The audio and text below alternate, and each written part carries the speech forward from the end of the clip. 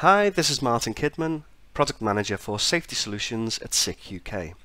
This short video shows you how you can navigate to our system configuration tool for safety light curtain applications.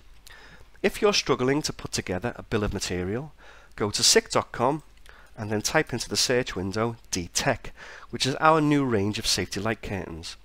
On navigating to this page, you can scroll down and as well as being able to choose individual products with a search filter, you can go through this tool which asks you various questions about the application, the functionality that you require, the diagnostics that you want, and also questions about the installation such as cable lengths, brackets and columns.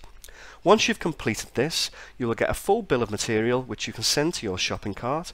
Here's one I prepared earlier, which can then be exported for use with your local distribution partner, or you can log in for your prices.